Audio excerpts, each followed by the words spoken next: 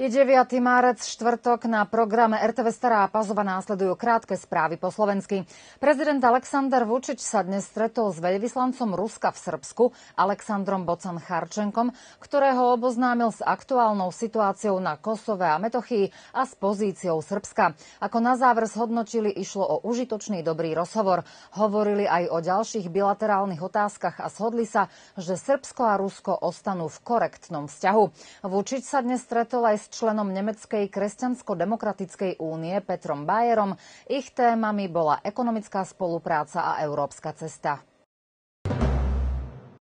Podľa údajov z dopravnej polície v Starej Pazove, ktorá je do konca týždňa zapojená do medzinárodnej akcie posilnenej kontroly v doprave zameranej na používanie bezpečnostných pásov a prevozu detí, v Starej Pazove bolo od začiatku týždňa zaznamenaných okolo 70 priestupkov. Z toho vyše 20 sa týkalo nepoužitia bezpečnostných pásov. V dvoch prípadoch išlo o používanie mobilného telefónu počas šoférovania. Šiesti vodiči si sadli za volant po užití alkoholických nápojov nápojov. Keďže sa o tejto akcii dopravnej polície hovorí všade v médiách, účastníci v doprave vo väčšej miere dodržujú predpisy. Ako hovoria odborníci v doprave, dopravná kultúra je časťou všeobecnej kultúry nás všetkých a dospelé zrelé osoby by mali dodržiavať všetky pravidlá cestnej premávky. Príslušníci polície v Indii chytili 36-ročného AB kvôli podozreniu, že sa dopustil trestného činu marenia úradnej povinnosti pri plnení služobných povinností. Pri dopravnej kontrole muž vyšiel zo svojho auta značky BMW a pokúsil sa utiecť. Policajti ho však chytili a pri osobnej prehliadke u neho našli menšie množstvo rastlinného materiálu a bieleho prášku. Predpokladá sa, že ide o marihuanu a amfetamín. Po expertíze a potvrdení, či ide o drogy, bude na muža podané trestné oznámenie. Zároveň u neho policajti urobili testy, z ktorých vyplynulo, že muž má v tele stopy kokainu, amfetamínu, marihuany a benzodiazepamu, nemal pri sebe vodičský preukaz a aj za tieto priestupky bude na neho podané trestné oznámenie. V Starej Pazove policajti kontrolovali 33-ročného vodiča auta značky Jugo, ktorý šoferoval pod vplyvom marihuany a 44-ročný šofér auta značky Nissan bol pod vplyvom opiátov. Predvedení boli pred priestupkového sudcu. Polícia apeluje na šoférov, aby dôsledne dodržiavali dopravné predpisy. Stredisko sociálnej práce v školách, výzvy a možnosti. To je názov pokračovania projektu z roku 2019, ktoré organizovalo Staropazovské stredisko sociálnej práce. Vtedy boli účastníkmi iba 4 školy z územia obce, no teraz sú do projektu zapojené všetky základné a stredné školy. Školskí psychológovia a pedagógovia nosia na svojich ramenách veľa problémov, preto sú im nápomocní sociálni pracovníci. Predsedníčka aktívu riaditeľov Slavica Stošičová povedala, že spolupráca škôl so strediskom je nevyhnutná s ohľadom na to, že problémy, ktoré sa vyskytujú v škole, treba riešiť komplexne. Cieľom projektu je zveľadiť sieť systému sociálnej ochrany so vzdelávacími inštitúciami, ako aj s miestnou spoločnosťou. Koordinátorka projektu Rúžica Taušanovičová vyhlásila, že je potrebné zlepšiť spoluprácu so školami najmä v prospech študentov, pričom najčastejšími problémami sú kriminalita mládeže, násilie medzi rovesníkmi, negatívny vplyv internetu a neadekvátne využitie voľného času. Projekt trvá 3 mesiace a financuje ho obec Stará Pazova, ktorá pozorne sleduje aktivity Strediska sociálnej práce. Ústav transfúzie krvi Vojvodina a Červený kríž Stará Pazova organizovali dnes prvú akciu dobrovoľného darovania krvi v tomto roku v priestoroch Strednej technickej školy. Na akciu zareagovalo okolo 40 darcov. Dobrovoľné darcovstvo je známkou hlbokej úcty k cudziemu, ale aj vlastnému životu, známkou dobrosrdečnosti, zodpovednosti a ľudskosti.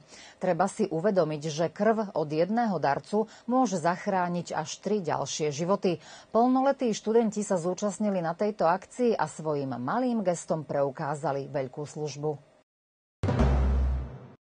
Včera ženy na celom svete oslavovali svoj deň. V Starej Pazove v centre boli postavené stánky s rôznymi kvetmi, sladkosťami a inými darčekmi. Žiaci všetkých škôl nezabudli na svoje učiteľky a profesorky a veríme, že každá žena v Starej Pazove dostala aspoň malú pozornosť od niekoho blízkeho. Odpovede sme hľadali dnes do obeda na Staropazovskej tržnici.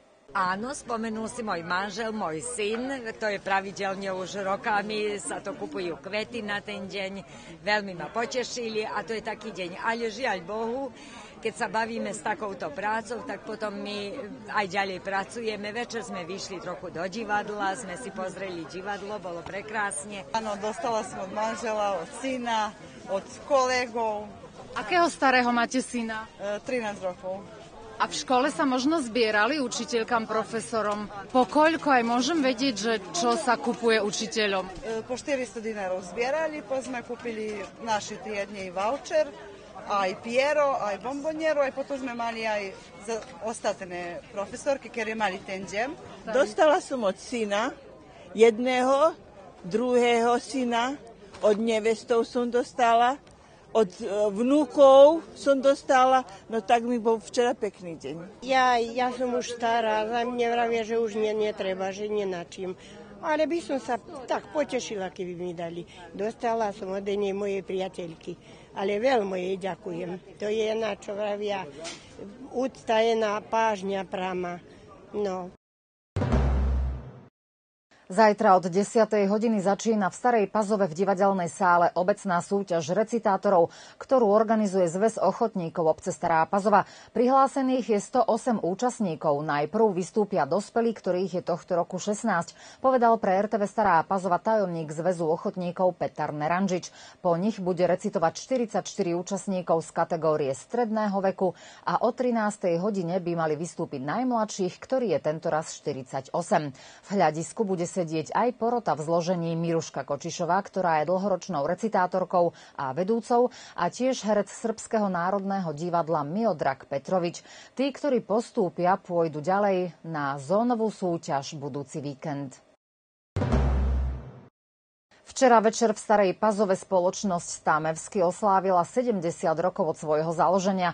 V začiatkoch to bola malá pekáreň, ktorá sa počas 7 decénií zmenila na jednu z najväčších spoločností na výrobu koláčov a tvort na Balkáne.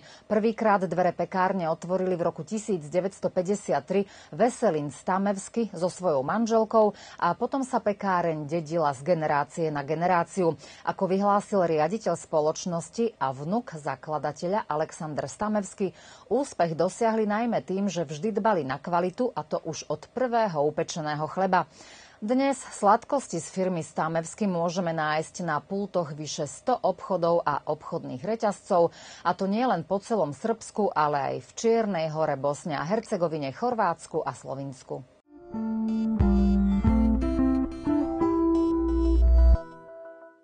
Piatok, podobne ako dnes, oblačno, ale prehánok bude menej a dážď slabší. Očakávať ho môžeme okolo obeda. Teploty ešte pomerne vysoké od 7 do 15 stupňov, no ďalšie dni mierne ochladenie. V piatok vietor mierny juhovýchodný. Radus a Branislav, viete, čo majú spoločné? Meniny. Radus dnes a Branislav zajtra všetko najlepšie. Štvrtkové správy končia, želáme ešte pekný zvyšok dňa.